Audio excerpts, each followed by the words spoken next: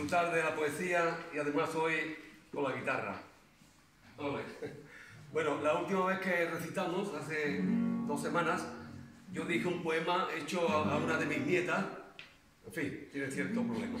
Y, pero tengo otra que es un bichito y además tiene cierto, ciertamente poética. Pues le dije un día, digo, Alejandra, dime algo referente a las estrellas. Dice, ah, las estrellas son como flores refulgentes en el cielo. Y mira, madre te parió. Total, que le hice este poema a mi nieta Alejandra, se titula así.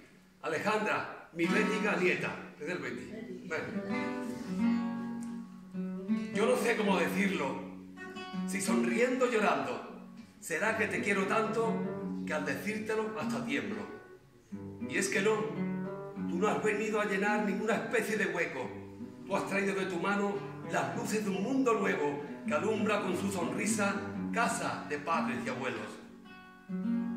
Tú eres tú, holgorio, llanto, figura y temperamento, sirenilla de agua dulce, bailarina de flamenco que cantas en otras lenguas y yo me guardo tu eco. Eres beso a nuestro ángel y a veces tienes un genio que para mí no quisiera en vez de tanto lamento. Me matas con tus abrazos y pensándolo me pierdo porque me robas la vida y quiero que me des miedo cuando te pones tan seria y frunces el entrecejo. Ay, mi Alejandra, mi vida, no puedes imaginarte lo mucho que yo te quiero. Qué cantidad de alborozo por ti derraman los cielos.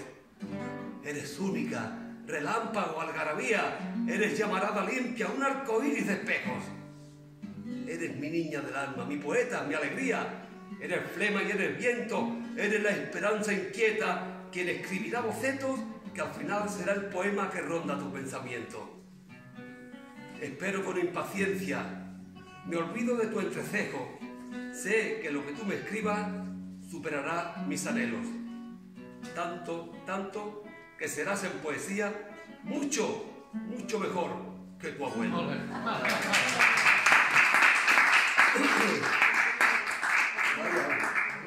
Otro papel.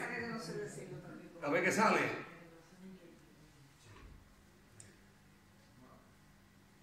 El que al baño quiera ir va a tenerlo complicado. El que al baño quiera ir, mejor haber olvidado lo que apunta por ahí. Pone que está averiado.